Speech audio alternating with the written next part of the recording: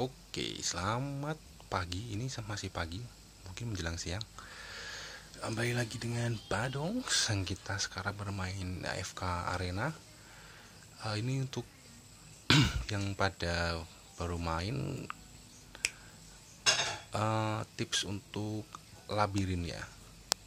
Biasanya akan menyesuaikan tingkat ke tingkat kesulitan akan menyesuaikan sesuai dengan yang sekarang kita di stage berapa. Kebetulan sekarang saya di world 21 stage 21 jadi agak-agak lumayan musuhnya. Jadi untuk labir ini tipsnya itu adalah sebisa mungkin nggak usah pakai uh, ini apa nggak usah ngambil hero atau power up lain. Jadi kita fokus ngambil ini aja. Ya, kita sesuaikan kenapa ngambil itu saja? Karena kita dapat upgrade nanti yang dari itemnya ya. Saya mau pakai ini. Saya pakai ini. Di Lucius ini masih PR jadi saya masih ngejar sekali Luciusnya. Mak ya karena free to play jadi memang nggak bisa banyak-banyak macam-macam. Masih simpel jadi bisa dilihat skill-skillnya di sini Bagnusius itu paling dicari. Tapi ini agak masih keteteran karena awal-awal ya. Nah, kita agak milih saja. Sebenarnya kita pilih apa pun nggak masalah tapi sesuaikan yang kita punya. Jadi ya biasa milih ini mungkin Hisjui ini juga hari agak saya tukar ke belakang sedikit. Baik.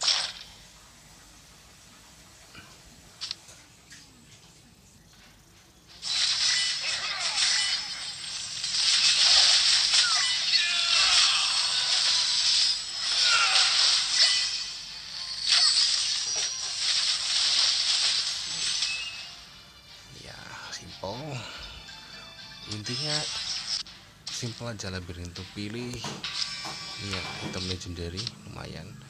Mau nggak mau saya harus ngambil. Tapi bisa mungkin dihindari. Saya ambil Henry aja ini. Hendrik Hendrik lupa namanya.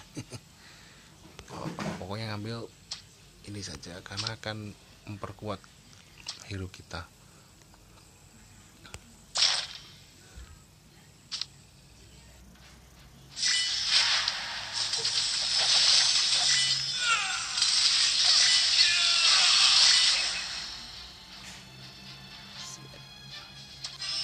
ini untuk level 1 masih gampang ya. Tingkat 1 masih lumayan gampang. Penting maju aja terus. Oke. Jadi kenapa tipsnya tuh kenapa nggak usah ambil power ups yang lain? Karena ya kita sebisa mungkin apalagi yang masih level-level awal meminimalisir penggunaan dura. Dura itu dura steer ini maksudnya ini ya item dura ini bisa digunakan untuk menyembuhkan semua atau menghidupkan semua hero yang sudah mati. Jadi kalau sangat-sangat membantu sekali kalau di awal-awal level itu masih masih susah. Sambil-sambil saya info sedikit ini saya tipsnya.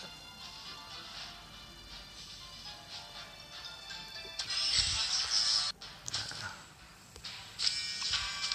kenapa saya suka build ini? Karena sebenarnya ini build tim ini paling gampang diambil karena di terutama dua ini ya Belinda sama Semira itu kamu bisa beli di Labyrinth Store sama di Legendary Store. Jadi uh, istilahnya kalau kamu power up itu atau ascended paling gampang. Kebetulan kemarin Gwyneth pas ada event jadi dapat. Dan Brutus itu nggak tahu kenapa kemarin mungkin lakunya juga pas narik itu sering dapat Brutus.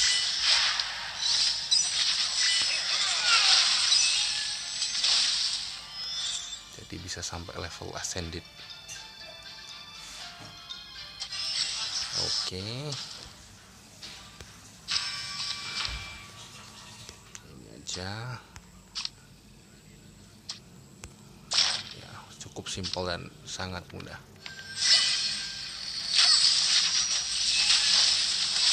Karena ini level satu masih sangat-sangat simpel.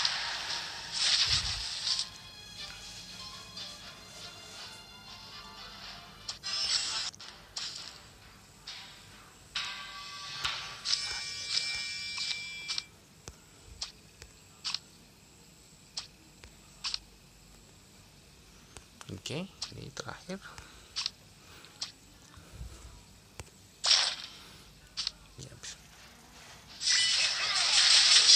Nanti tadi saya lupa bilang kalau di pojok atas kiri, eh, pojok atas itu bisa dilihat eh, istilahnya powernya tim kita berapa.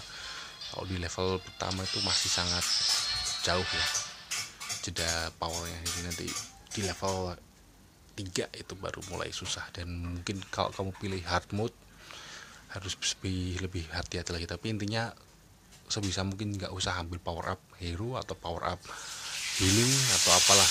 Fokus ke itu untuk untuk clear. Untuk clear up stage. Oke. Okay. itu saja untuk hari ini. Nah, terima kasih untuk sudah melihat dan sampai jumpa lain waktu. Bye bye